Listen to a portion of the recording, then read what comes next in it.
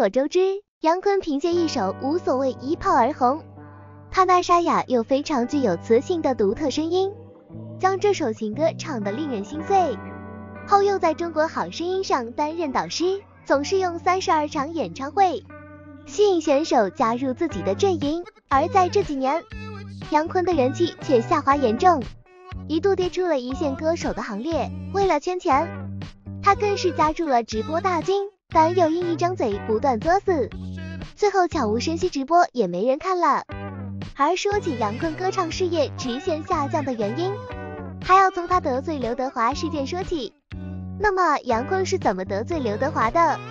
为何如今沦落到惨遭封杀的地步？这里是显一记本期视频，我们一起来聊一聊曾经的音乐天才杨坤。二零二一年。四十九岁的歌手杨坤在出席某楼盘商演时，发生了非常尴尬的一幕。因为商演，现场的观众们齐刷刷的对着他喊刘德华。杨坤对喊刘德华，并不是。这次杨坤的商演造型看上去像刘德华，导演认错了，喊错了，大家是故意这么喊的。在视频中，杨坤穿着白色内搭红色皮衣，膝盖破洞的紧身牛仔裤，黑皮鞋。几十年如一日的酷酷的打扮，登台前商演的主持人为了调动气氛，希望现场的观众能喊出杨坤的名字，把他请上台。通常这是商演中很常见的一个桥段。结果当主持人说完“跟我一起杨坤，杨坤三百二十一”后，观众们却喊出了刘德华，刘德华，刘德华非常整齐而响亮。这一场景，估计在所有商演中都是非常少见的。上演时，即使歌手再过气，既然主持人这么说了，现场的观众还是会比较给面子，大声呼喊歌手名字的。但这在杨坤身上却成了那个例外。不过杨坤毕竟做了多年歌手，各种场面都见过，即使对着他喊刘德华，他也没有拂袖离开，而是整了整衣服上了台，开始唱他的代表曲目《无所谓》，无所谓。无所谓，杨坤在台上重复唱着这三个字，似乎在回应他们喊再多遍刘德华，我都无所谓。可是，为什么现场观众会这么不给杨坤面子，对着他大喊刘德华呢？这还要从杨坤自己身上找原因。原来早前杨坤在直播中曾批刘德华不是好歌手，他说从严格意义上讲，刘德华不算是一个真正的歌手。之所以很多人喜欢他，是因为他塑造了很多好的形象，舞台上表现力很强，唱歌的时候容易会让观众想起他曾经扮演的角色。言外之意似乎是觉得刘德华歌唱的一般，演唱全靠观众们的粉丝滤镜。原本杨坤和刘德华似乎也没什么交集，结果因为这句话，引发了刘德华基数庞大的粉丝的怒气，纷纷回怼杨坤：“你配吗？”你有资格说刘德华吗？你的主业是歌手，却只有一首无所谓。作为歌手的成就，完全比不上刘德华。对此，杨坤又专门在一次出镜中澄清了这件事。不过，他的态度并不是刘德华粉丝所期望的诚恳道歉的态度，而是对着镜头向刘德华的粉丝隔空喊话。我觉得我说这个话没有任何毛病，你们对我，我觉得你们对错了。我没有说刘德华任何一个不字，我问问大家，刘德华的主业是不是演员，副业是不？是歌手，可想而知。即使杨坤澄清和解释了，从他的角度，他觉得自己没有说，但是刘德华的粉丝并不是这样想的，因此直播间下面除了继续被你配盲刷屏之外，大家开始刷着刘德华的名字。如今刘德华，刘德华的亮相。从杨坤线上的直播间转战到了杨坤线下的商演，出现了上面那尴尬的一幕。其实反观杨坤的出道史，他也并非专业歌手出身，出生于内蒙古的他，最开始是在钢铁公司上班，是一位电焊工人。这个职业和歌手八竿子打不着，但在偶然的机会下，他接触到了音乐。钢铁厂联合电视台搞起迎国庆活动。举办了一场唱歌比赛，没想到杨坤拿了个冠军。此后，他在有意往音乐方面发展，后来有电视台的人介绍他去了文工团，因此他开始在全国各地登台演出，同时他也给他积累了不少的舞台经验。后来在文工团出来后，杨坤又去了酒吧当驻唱，在那里受到感情伤害的杨坤颇受打压，创作了《无所谓》，本想借此舒缓苦闷的心情，不料爆红还顺利拿到金曲奖。随着《中国好声音》横空出世，杨坤、那英、庾澄庆和刘欢四人作为导师，重新回到娱乐圈。杨坤在沉寂了一段时间之后，也再度凭借着《好声音》这个舞台卷土重来，甚至很多人都记得他在《好声音》舞台上那句经典的台词：“我可是一年要开三十二场演唱会的”，引起了大家的哄堂大笑。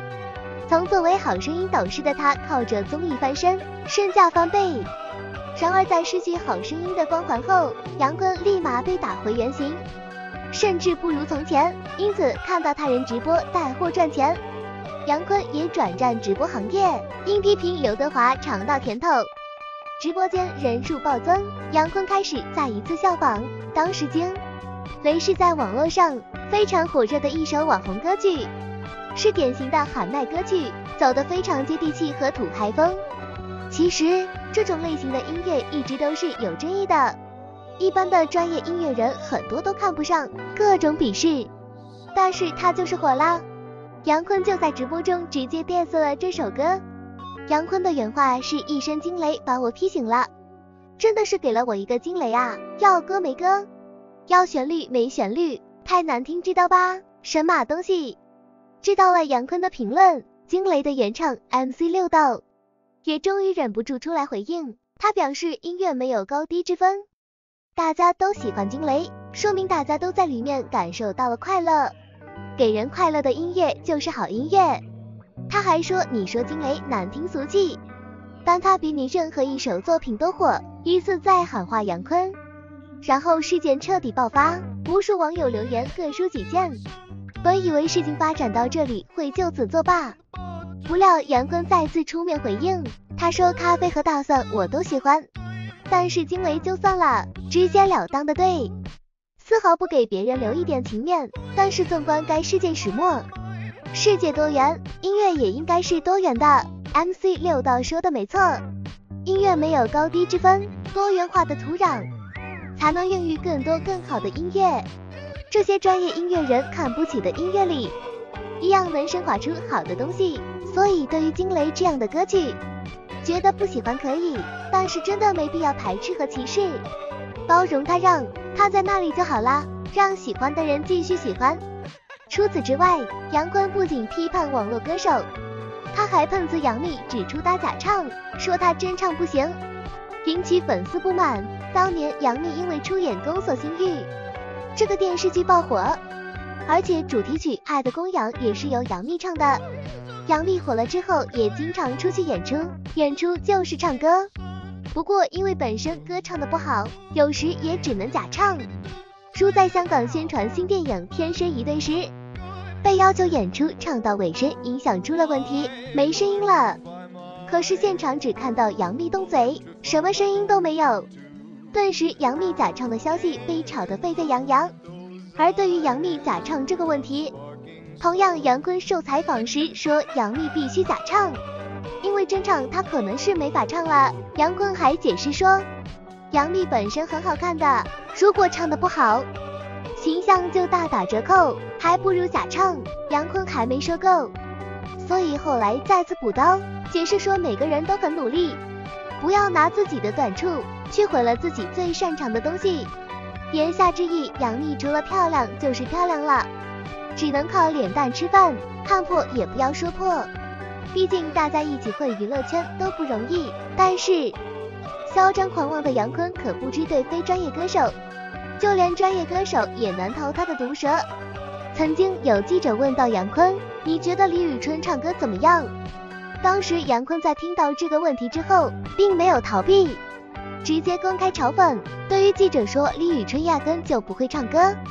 他们那届超级女生唱的最好的是张靓颖，所以就是因为杨坤这一句话，也是引起了两家粉丝的谩骂，更是有李宇春的粉丝到杨坤的社交平台去骂骂他，说杨坤凭什么这么说李宇春？他以为他是谁呢？